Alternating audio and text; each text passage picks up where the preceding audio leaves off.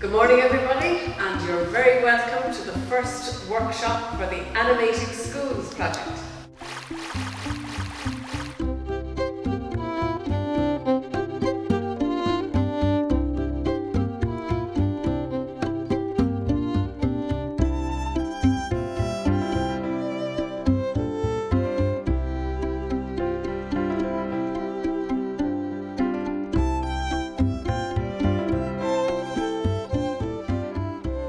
So, in this story, there's a young boy called Jack. And Jack is about, well, at this stage, he's about 16 years of age.